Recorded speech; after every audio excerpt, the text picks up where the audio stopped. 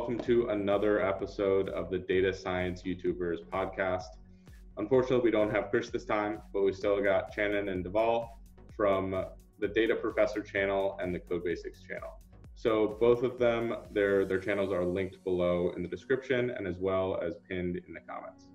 I've also included the playlist of all of these series, all of the podcast episodes, uh, linked down there as well if you want to go back and, and see some of the topics that we've talked about previously.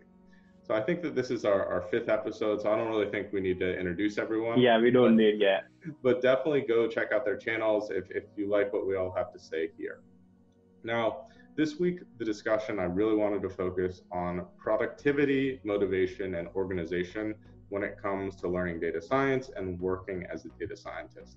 I think that this is extremely helpful and a valuable topic for anyone that's even you know related to this field. And since I've been working with you guys, I've just been you know so impressed by your ability to actually like do all of these things. You know, I mean, Chanin is a, a professor. He has a kid, and he's making YouTube videos. Same with you, Dhaval. You know, you're working full time, and you're creating a lot of really good, high quality content. So I think that you guys are great examples of how some of these, um, you know, how some concepts around productivity, motivation, organization are really applied. So I just wanted to kind of start this conversation, and, and I'll start with you, Dhaval. You know, how do you manage time, and what what tips can you give others trying to learn data science while they're either working, while they're in school, or while they have other competing interests going on? Sure. So it's a very good question because today the world is full of distractions and you have so many things to do. So, uh, number one tip is uh, prioritizing your work using some productivity tools. So there are different tools such as a Trello, there is a Zoho Sprint board. If you want to use a simple application, then you can use uh, uh an application mobile app which I like, which is called Todoist.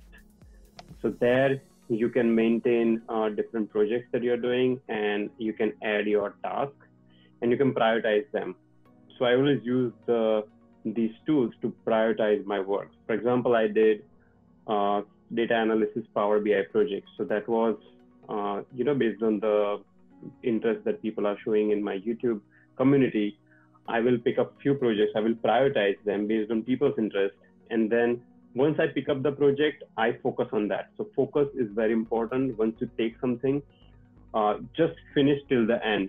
Most of the time, productivity is wasted when we leave the thing in between.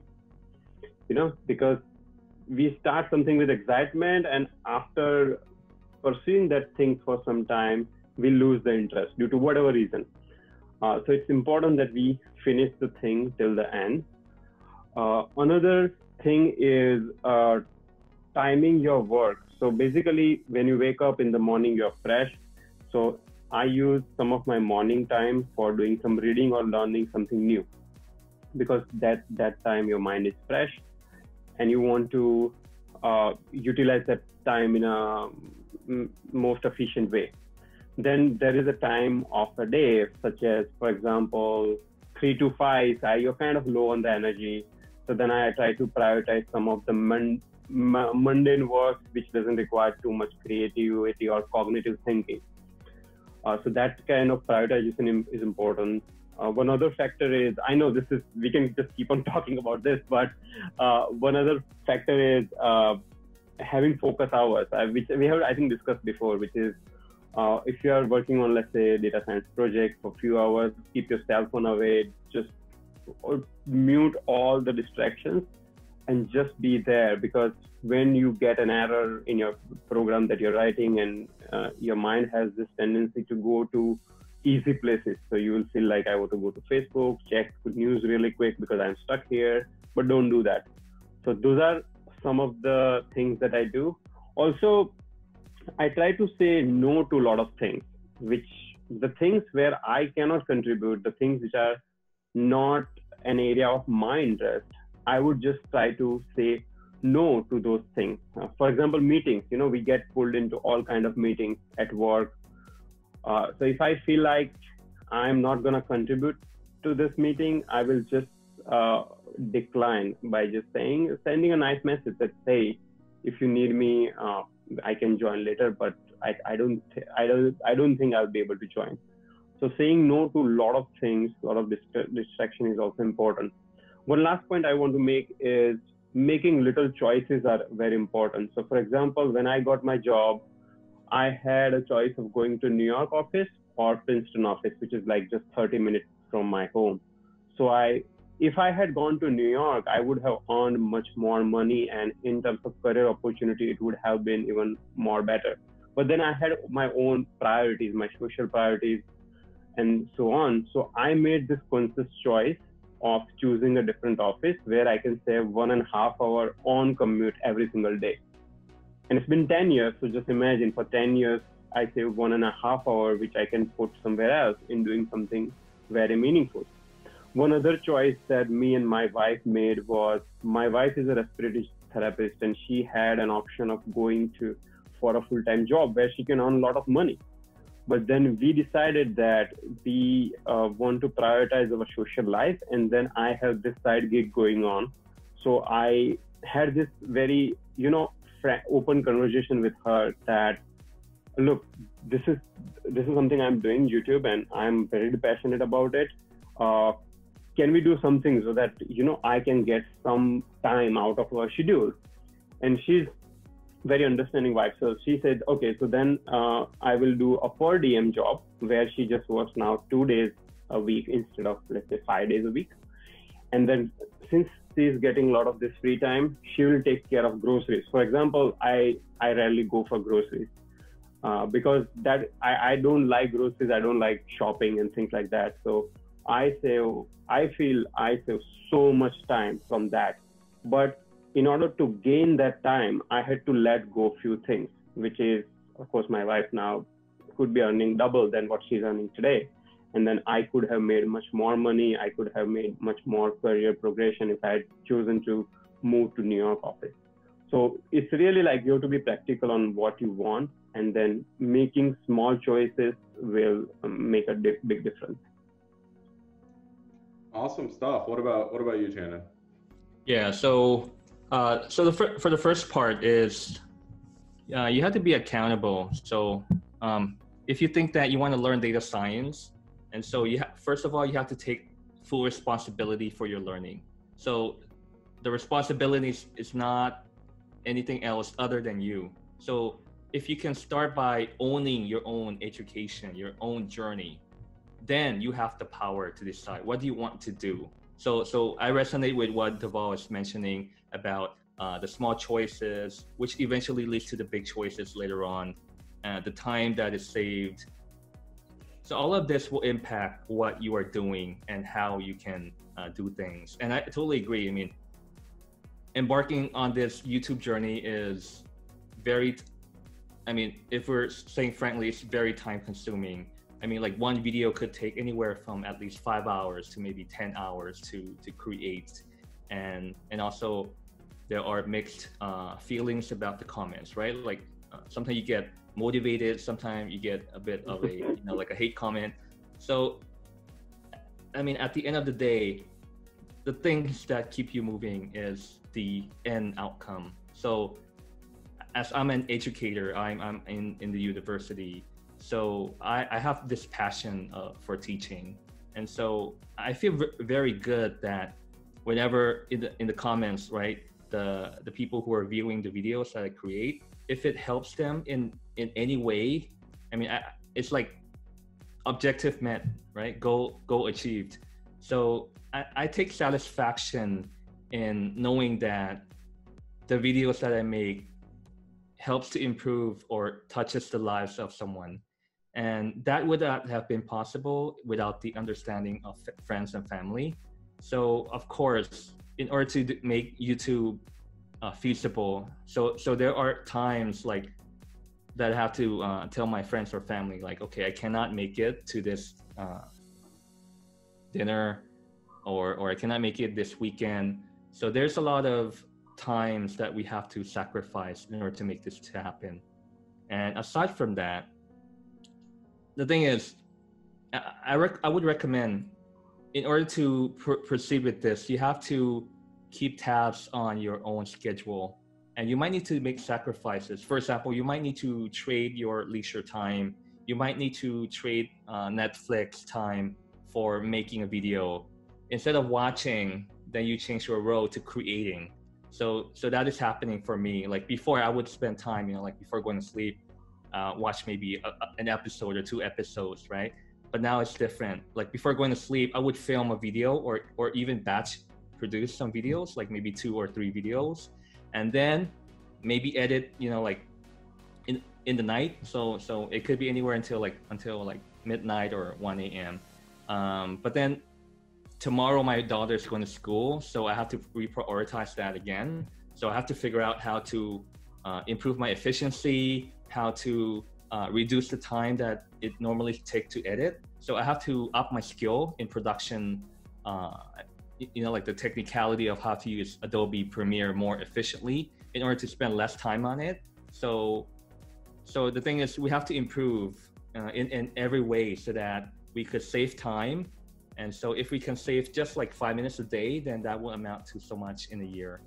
Yeah. And, and also I would recommend like like for example, when I'm driving to work, I would listen to podcasts, uh, Spotify, I would listen to YouTube. And sometimes I would listen to Gary Vaynerchuk or other motivational uh, YouTube videos in order to get hyped, you know, because I think setting your mindset at the beginning of the day is very important. And so if, if when you're hyped, then it's like whatever challenges life throws at you. I mean, it's piece of cake. You can handle it. So yeah. Awesome. Well, you know, there are two things that I really wanted to highlight that both of you guys talked about. So, Chanin, you just recently talk, touched on this topic of, you know, when you're driving or when you're doing something, you're you're still learning. I think mm-hmm. this idea of finding time is very, very important. You know, there are some things that I used to do like I deleted all the social apps from my phone because you scroll Instagram, right? And then you realize you look up and you've done it for 40 minutes, right? And yeah. what, what value does that actually create in my life? Is it something, do I really feel like I've connected with people after I've scrolled memes for, you know, 20 minutes, right? And so, you know, those things add up. I, I was looking at my screen time on my phone and I was spending like two, three hours a day on Instagram or on Twitter or on you know Snapchat, whatever it might be. And it's like, well, if I take one hour of that and do something productive with it, or even two hours of that and do something productive with it, you know, that's that's that's really good uh, time that I didn't think I had. And there's other things that you do that you don't realize are like huge time wasters. Um, you know, I think uh, managing time you can find a lot of time in places that you didn't expect. And that's something that has really helped me, especially recently, is, you know, I look at my whole day and say, oh my goodness, like over the last couple years, I've wasted, you know, 400 hours on something. And you're like, you know, 400 yeah. on Instagram, that's a lot of time. If I spent those 400 hours studying, I'd be a genius or something, you know? um, yeah. Okay, I wouldn't go that far. I probably wouldn't be. um, well, you're only a genius. Maybe you'd yeah. be like genius square. oh, but you know that that's that's something that I've realized is that okay, like you know, breaks, taking breaks, recharging are important, but scrolling Instagram is not something that makes you that recharges you. You know, if I go for a walk for 15 minutes, I come back so much more energized than if I scrolled Instagram for 15 minutes. Yeah, so that's Definitely. one thing to focus on. And so, Dhaval, you also talked about uh, using tools to help you.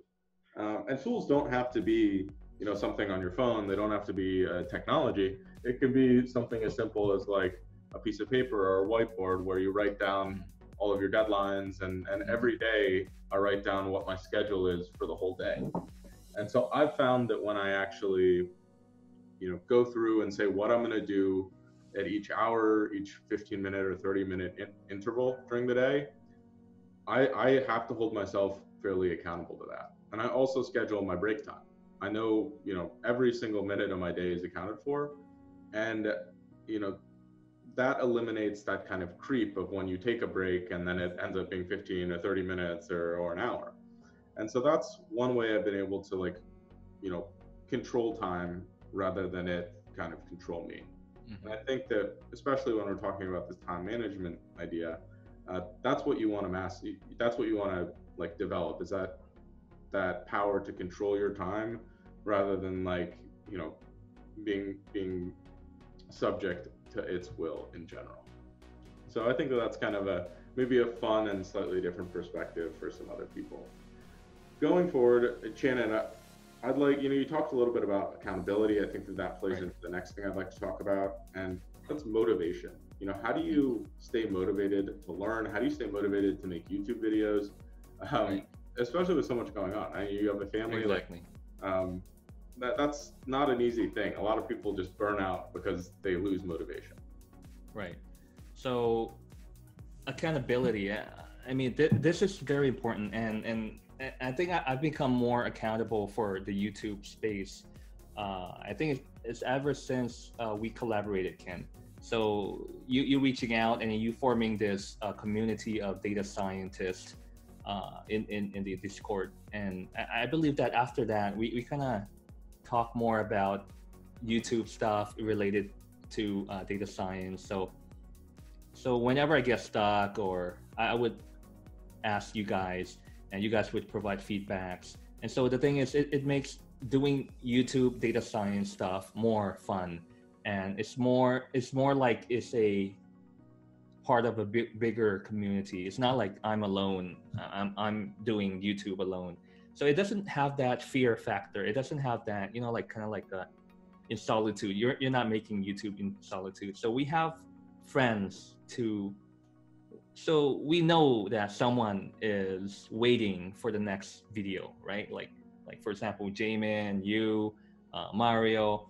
So we have the sense of you know like someone is waiting for for the video to be made and other subscribers are also suggesting ideas like can you make a video about this could you do about that and so they're looking forward to that so i, I think that will motivate me to uh, create videos and also having accountability like with friends family so i would tell them that okay I, i'm in this youtube thing and the thing is once I told them, right? So the, whenever they we meet, we we would probably talk, and then they'll be like, "How how's your YouTube thing going?"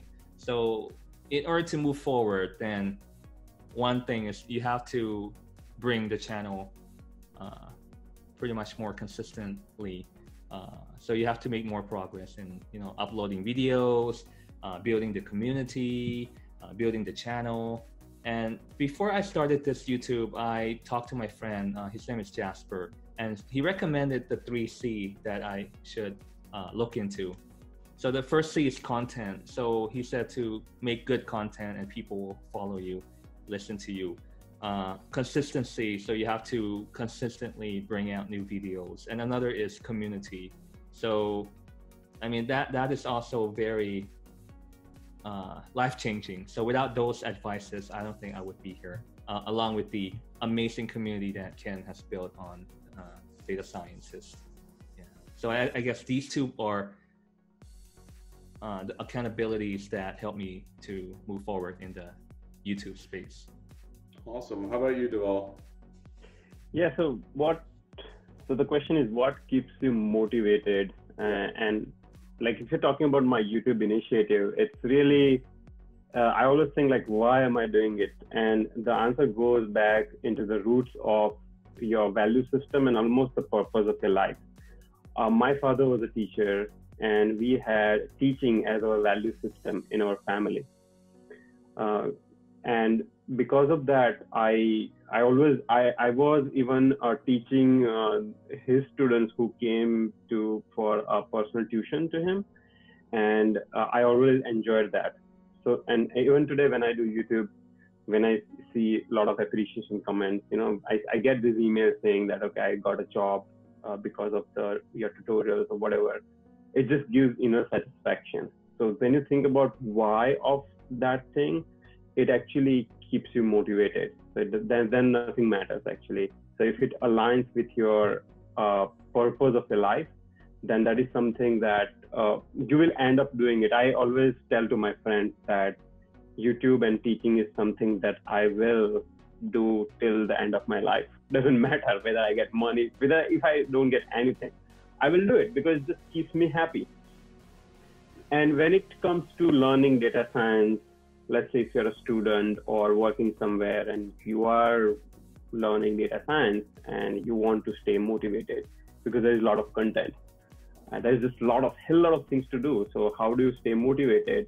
So i always say that start building projects because when you build a project at the end of some definite time period you have produced something tangible which you can see which you can play with which you can even show it to your friends and say hey i built this cool project. Let's say if i keep on reading machine learning books for six months without producing any application it's very easy to get demotivated. So producing something tangible that you can show and share with people is i think very important when it comes to motivation awesome and you know i, I agree with with both of you guys i think having a community, having friends, you know, both of you guys have helped keep me accountable. You know, we do this every weekend. I, I probably wouldn't wouldn't film every uh, you know every weekend if, if I didn't have other people that I felt like were depending on me. Um, you know, there are two other things that I really think can help with motivation. So Dhaval, you talked about tying what you're doing to your purpose.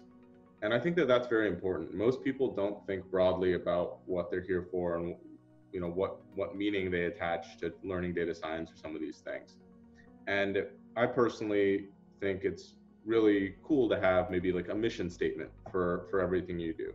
So you know the reason why i create videos is i want to make data science more accessible data science and sports analytics more accessible to everyone. I think it's an awesome field. I've had great experience with it and i think it can create a lot of value to society like if we have more data scientists like we're going to be solving a lot more problems that are that are relevant to everyone um, and you know that every time I see that, I'm like, okay, well, like I really want to get out of bed and produce stuff. Um, another thing related to that is having personal goals. You know, I write my goals as, as you guys have seen in some of my videos, like all over the place. and you know, every day I read them. Every day they're looking at me, and that's one way of kind of holding yourself accountable, right? Because rather than having other people do it, you have a piece of paper on the wall that's like, oh, I said I was going to make two videos every week. I better do it.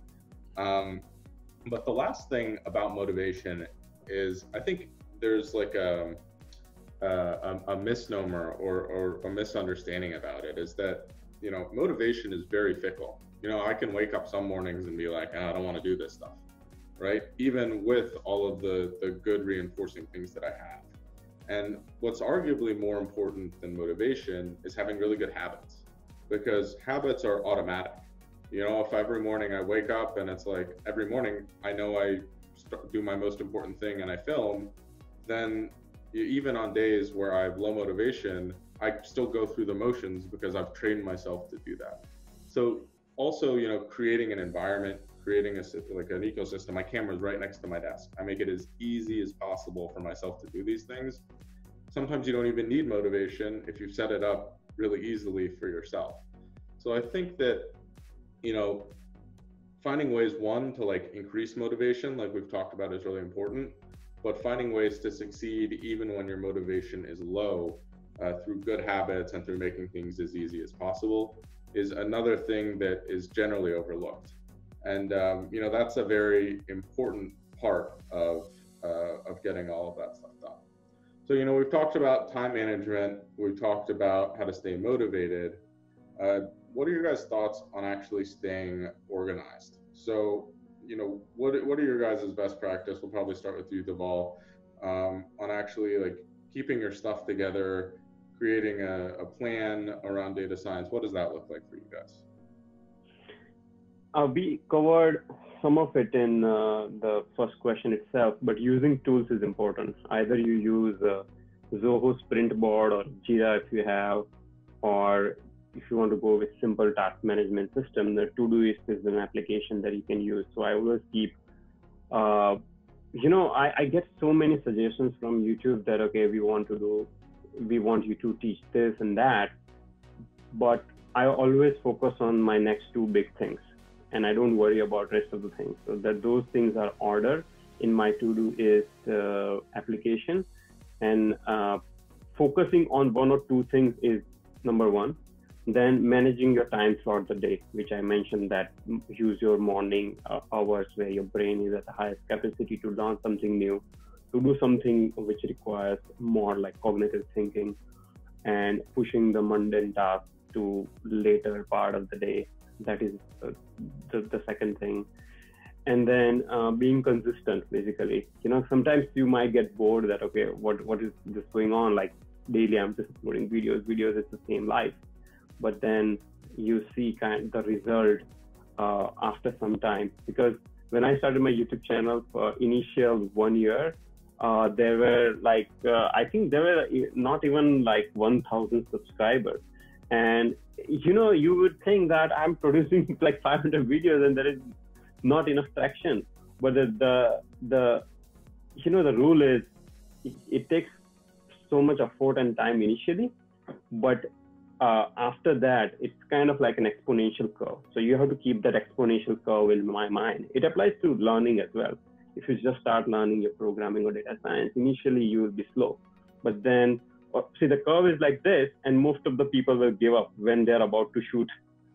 So yep. that that is very important. That keeping that curve in mind is uh, very important. Well, you know, I I think it's very interesting how it might be slightly different, but how similar our approaches are. You know, basically on my computer, I, I use the sticky notes. I, am a Windows user. Um, and I have all the things that I like want to do, and they're all prioritized, right? And so, I, you know, I read this book a while ago, and I'll link it below. It's called The One Thing, and it's something that changed my life. It's like you focus on, you know, one unifying theme for an extended period of time and like you'd be shocked at what successes you can have related to that. But basically, I take from that list of the things that I prioritized, and the ones that I prioritize the highest, I put it right on that schedule, and I schedule it in in the mornings. Uh, you know, I I know that every day between eight and ten thirty, I am my most productive, and that's when I want to do the thing that has the largest impact on my day. Uh, you know, there's this concept called the Pareto principle. And so there's two principles that I that I live my life by. So the first is the Pareto principle, and that's that 20% of the res- I mean 80% of the results come from 20% of the of the activities that you do. So if you focus on those 20%, you know, you get huge diminishing marginal returns by working on anything else. So why would you really even focus on the other things when you're getting the most value of those four things? you know, for me in YouTube, it's like producing videos. If I know that like I get a video out every twice a week, like I know that I'm going to have growth. I know I'm going to be able to reach people. I know that that's going to further my goals. Um, the other principle that I actually didn't explicitly mention earlier is called the Parkinson's principle. And so the Parkinson's principle is that, you know, basically the task that you have will expand to fill the time that you give it. So if I give myself three hours to work to send an email, that email might take me three hours to write. But if I give myself five minutes to write that email, I'll likely be able to to do it in five minutes. And so, I mean, obviously that's like a maybe a bit of an exaggeration, but if you're putting time caps on your things, you're going to be a lot more productive because you can actually like usually do the tasks in the amount of time that you give them. So, I mean, those are two kind of unifying themes of organization that have personally helped me. So, Chanin, what are your thoughts there? Yeah, yeah, totally agree. And uh, I, I use the latter one that you mentioned about the Parkinson's, where you, if you spend five minutes, or I mean, if you give it five minutes, and then it will expand to fit that time. So, like, like during my day, um, so the day, so so I plan my day the day before the, the tomorrow. Like, like for example, like tomorrow, I'll start planning like in the evening of today like what what am i going to do for the whole week? So typically on sunday i would plan like okay what, what am i going to do on monday tuesday wednesday thursday friday? And so having a mental map of what the week is going to be like then when the time comes on a monday morning or a monday afternoon then i know exactly what i need to do. So ha- have you guys ever been in a situation where you're you're suddenly free and then you have to figure out what should i do right and then yeah. I mean, just having that, like, what, what am I going to do? I mean, it's like you're, you're just trying to find something to fill your time. So, so sometimes being busy might not equate to being productive. So if you, like, like for me, if you plan your time, like, like, you know, like Sunday or Saturday night, and then like, what are you going to do for the whole week? Then whenever time is available to you, then you know exactly what you want to do. Yeah. So so so that will be kind of like you have a clear schedule, like a mental map of the the week, and then you you'll act accordingly. So it's kind of passively, like like as Ken mentioned, right? Like you don't like you you already have your camera all set up, right? So it's passive, and so you just do it. Yeah, and, and recently I've been listening to uh, Pat Flynn's uh, YouTube podcast, and he mentioned about this five second rule uh, from Mel Robbins. So you don't have to think about anything too much. Like if you want to do it, five, four, three, two, one, action. Just do it. Yeah. So just count down, you know, and, and you just do it. I think that there's like a, a misnomer around that is, you know, that we right. talked about with motivation before is that mm-hmm. a lot of people believe you need motivation to drive action, right? And in truth, it's the other way around. When you start something, you gain motivation as you go if you have little successes. So like rather than like waking up and being like, okay, I have to get psyched up to start writing code, to start learning data science. If you start and you have a little bit of success, you're gonna like get amped about it. You're gonna dive in and get really immersed in it. Uh, one one warning for anyone that's that's watching this, um, you know, I as I've kind of really focused on personal development, as I've focused on thinking about how I spend my time, I have a little bit of trouble now actually like doing activities that I used to enjoy. So like I used to enjoy watching Netflix series sometimes. Now I can't get into them because I feel like wow, I have like a lot better things to do with my time that could really mm. that I really enjoy or that could be that could be more fulfilling or whatever that might be. So if if you if you're okay with losing a little bit of interest in some of the things that are maybe pure leisure activities, you know, by all means jump in. If that's something you have reservations about, that's that's totally okay as well. I don't know if you guys have had the same experience where, um, you know, some of those, you know, I, I don't enjoy playing video games anymore. I don't enjoy doing some of those things, which I've found very, maybe it's just me getting older too, but you never know. it's I, I have similar experience ken actually. When i watch like uh, tv for a long time i almost start getting this guilt feeling. I'm like what am i doing? I could be doing like much more impactful right, right. thing.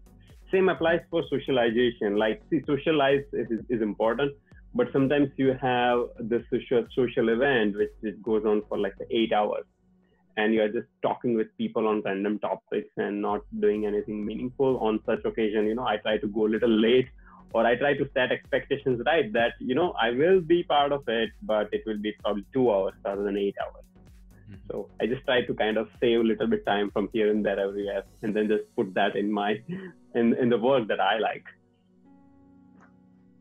Awesome. So i just have a couple more questions. So the first well I guess it's like in the middle of the question, whatever it might be. I want to know what your guys' process is for learning something new.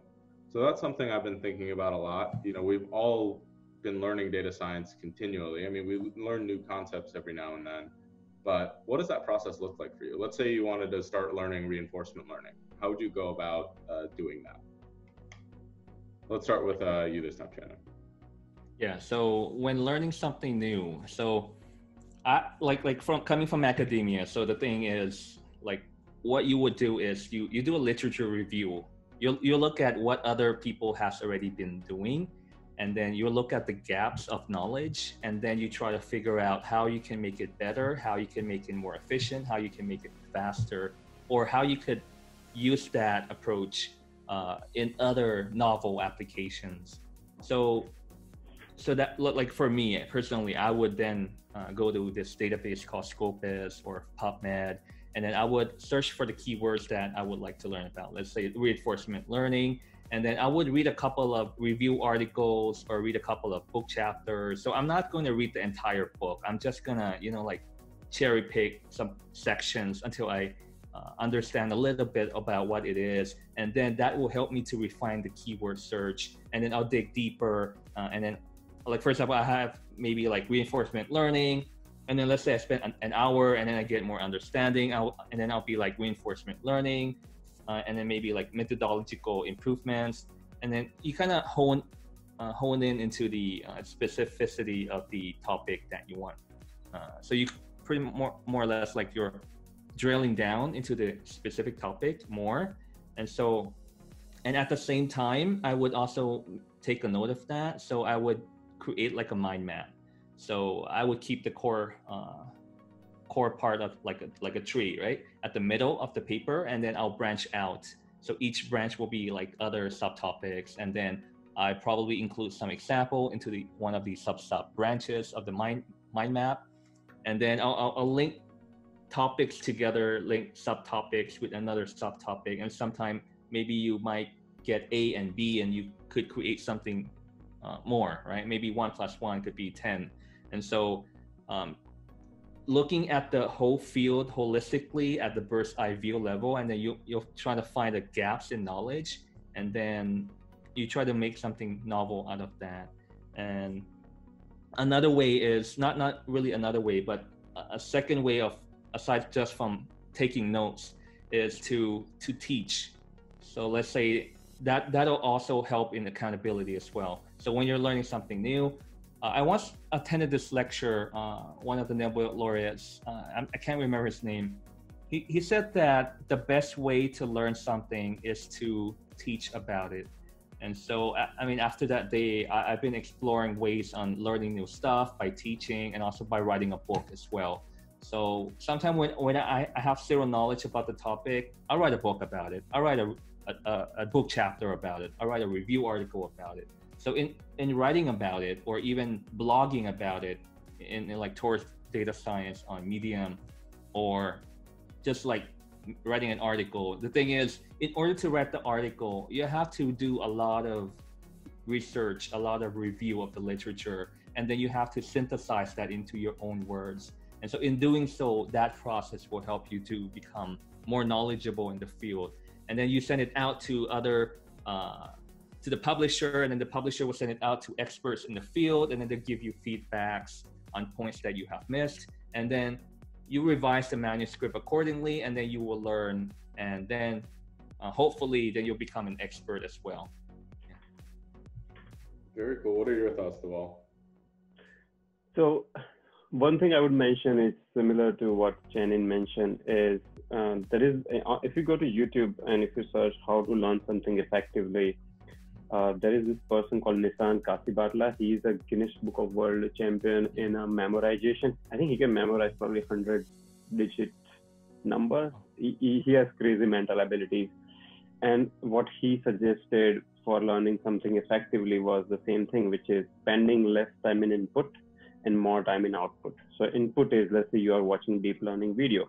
So you maybe watch the video for two hours but spend more time in output, which has three components. The first component is um, reflecting on what you learn. It's not like I watch one video on reinforcement only. So what second, third? I by, by I might spend five hours watching ten videos on reinforcement learning, but I did not spend time on reflecting.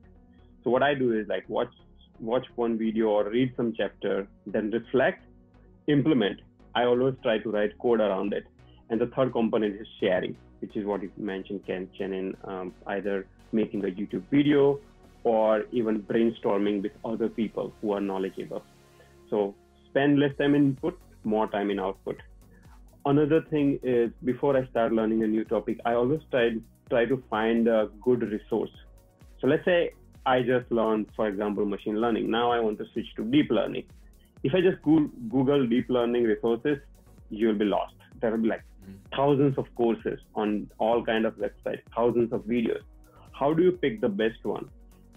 So I ta- then talk to people like like we are having this community. So I'll generally ask Ken or Krish or you, Chanin that okay, what do you guys think? What what is the best course for deep learning?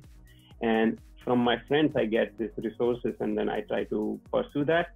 And when I start following that course, uh, again, I don't want to just keep on consuming the content. I always like writing code. If I'm learning deep learning, after watching one hour of video, if I'm not writing code, I will I, I will realize I'm probably going in a wrong direction. So these are some of the things that we can do uh, for effective learning. Awesome. You know, I, I agree with both of you guys. I, I actually I read a book and I also made a video on it called Ultra Learning. And this this book, so the the, the concept is the guy basically went through all of the MIT computer science coursework in a single year that usually takes people four years. And he was able to do it by following basically these principles that he's put together. Um, I'll, I'll link all of that stuff below if you want more in depth about that. But to me, when I go about learning something new, I try to get a quick high level understanding of what it is. I usually do that through uh, either YouTube videos or some light reading. Medium articles are great for that. I kind of plot or like chart all the things to know about that area. And then I try and get started doing a project or coding it or getting it just to run as quickly as possible. So I don't know if I've stolen this from someone. I don't think I have. I think this is something that, that I've created, uh, but it's called the minimum viable knowledge. And the idea is that you get just enough knowledge to be able to start applying the concept. And then once you start applying it, you can start to understand how it functions. So I look at this whenever I learn a new machine learning algorithm, I basically will write some code that applies it using scikit-learn, whatever package it is and then I'll go back through and try and understand the math behind it. Um, you know, if you want to take this even a step further, you can basically code that algorithm from scratch. Um, I don't really want to ever do that again because it's very tedious, but I did have to do that in grad school for pretty much all of the machine learning algorithms that I use daily, like including neural nets, recurrent neural nets, all these things. So that um, being able to go jump forward and use it and then backtrack and figure out how it works is something that I believe has personally worked really well for me because I need, you know, when you get when you get examples, right? That's when you actually things start to click for most people. And most people are thinking, you know, without examples, like, oh, let's think about this theoretically. Um, and that concreteness is something that really brings it all together. So um, again, like that ultra learning book is really good. It helped me kind of frame how this would work in my mind. But uh, the idea of also that, that you guys both mentioned of accountability is important here as well, or teaching. I mean, that's one of the reasons I make YouTube videos. Selfishly, uh, it helps me to actually understand these concepts better because hopefully I don't put anything or too many things out there that I don't understand that well. I really feel like I have to research the things that, that I'm talking about, you know, so I don't look like an idiot online, which still can happen sometimes. But um, but yeah and what happens is like once you uh, put that video some people might ask some really intelligent question. This has happened with me where even i wouldn't even know the answer. Then that will uh, encourage me to do critical thinking on such topics. And you know i do my research and then i reply to those comments. But in that process now i have consolidated my own understanding about that topic. Yeah. That that happens all the time. And even if i'm wrong on youtube you know people will let me know and you can guarantee that I won't be wrong about that same thing again because of the embarrassment or whatever that might be. So, you know, to anyone watching, I if I do something wrong, let me know. Um, you know, I, I don't mind being embarrassed. I don't, I don't. If if it helps me grow, it's totally worth it. Yeah, same here. Yeah. yeah, definitely. So I think the last question I want to ask is if you, you know, I've learned a lot about myself, a lot about um, these experiences through through different books. That's the best way that I, have you know learned how to actually understand productivity, motivation, all these things. Do you guys have any books, uh, people to follow on YouTube, uh, any resources that can help other people better understand? Again, these concepts of productivity, organization, and motivation that could help them in data science. Uh, we'll start. Uh, I would. Yeah yeah I, I don't i don't have any suggestion on the productivity books but then in general for motivation i i would suggest the magic of thinking big. That book is probably the best. For communication and relationship management uh, how to win friends and influence people. So those are two books i would suggest that people should read. Awesome. I'll def- i'll link all these books below as well for for anyone interested. How about yourself Chanin yeah so i so let me show. There we go. I love it. Ah, big pile of books.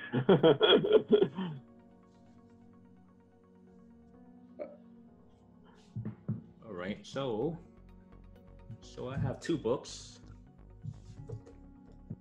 Like, this is a good book. So this provides you with a high level uh, on the importance of data analytics.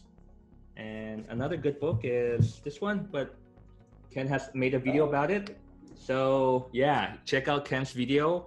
And I believe ultra learning is is very awesome. And the author Scott Young shares, as Ken has made a video about that, how you could leverage that in order to ultra learn a new topic.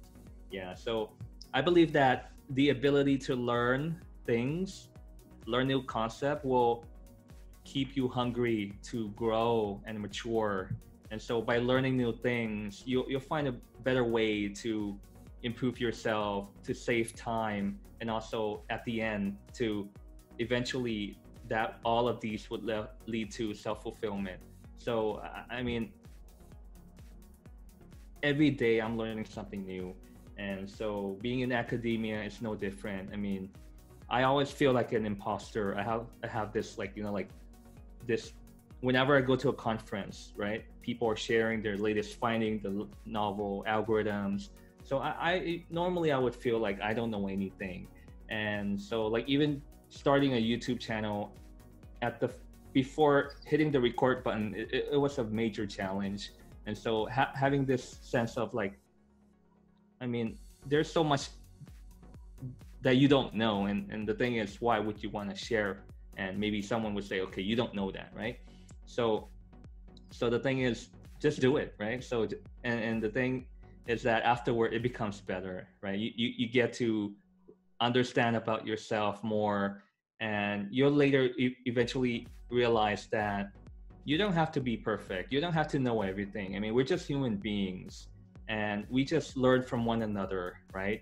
And so by doing that you you'll grow you'll mature and and at the same time you'll you'll help other people learn as well. So i mean if if you make contents and let's say 99 people say you're doing something good and let's say maybe one person might say okay you're doing this wrong right? Like some of my comments. And then the thing is i want to know what did i do wrong so that i could improve and make better content in the future. So I, I take every comment objectively like good and bad so i try to improve and I, am not saying I know everything, so it's it's more or less like a refining uh, way, like revising for an, an exam, and you get feedback, right? So that's always great. Yeah. I agree. You know, I think that people have the most success in data science or any of these mm-hmm. fields if they look at everything from the through the eyes of a student.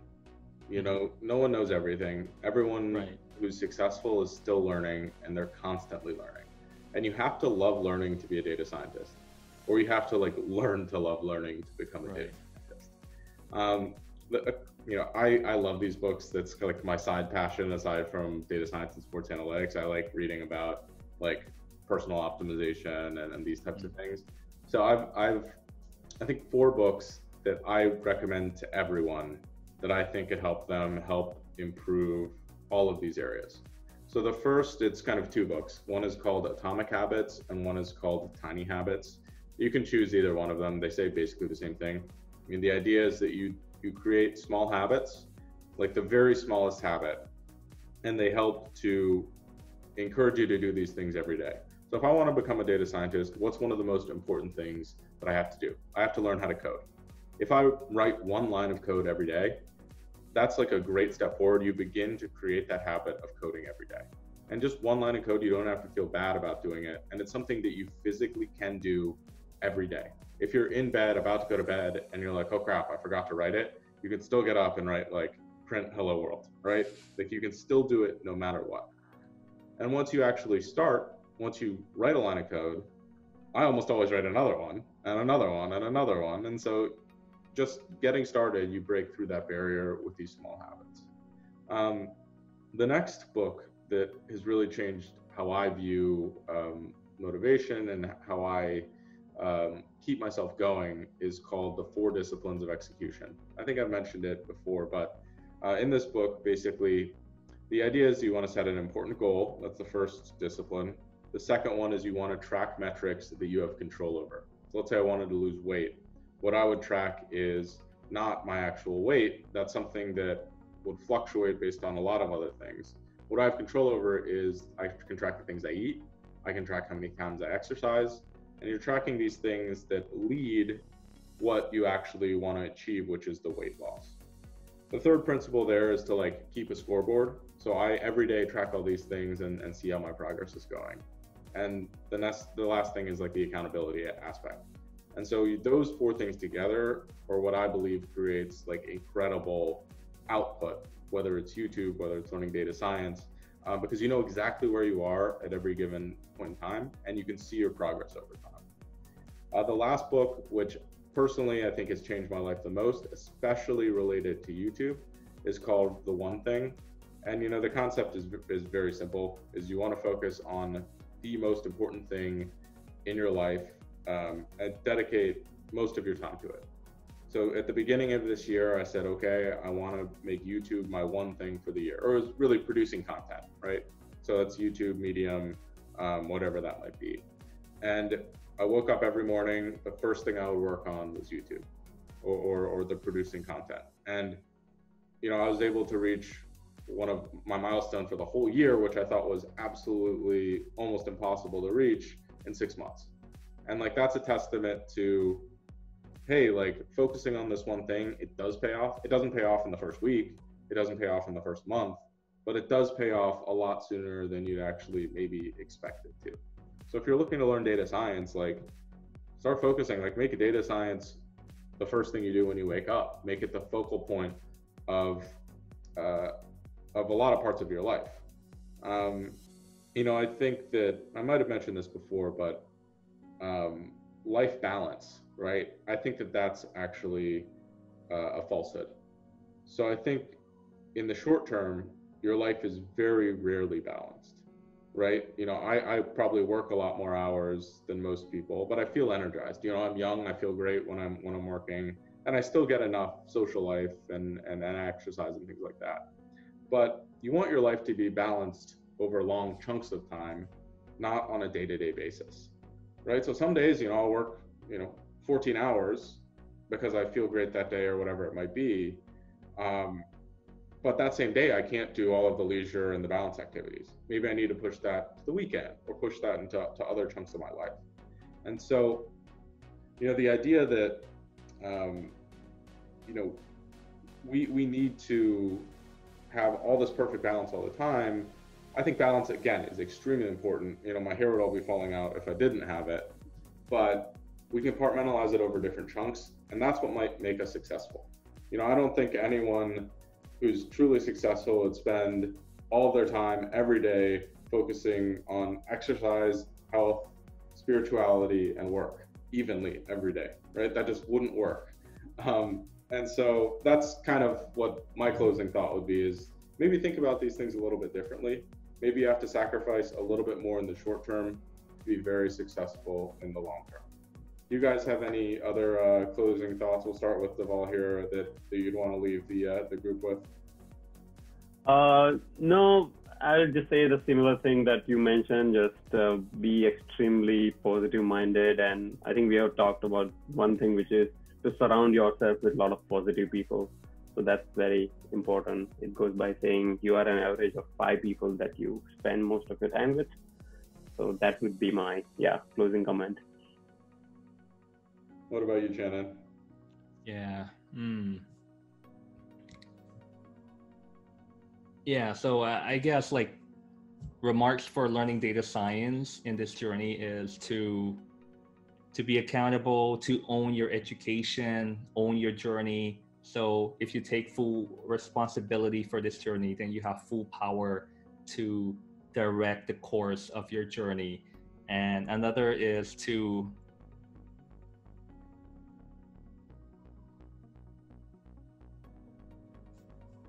I would say um, just do it. Don't overthink. So if you find that learning data science is important to you, don't overthink it and just do it and try to figure out like the purpose of why you're doing it, right? Like as Dhaval has mentioned, uh, teaching, his passion for teaching.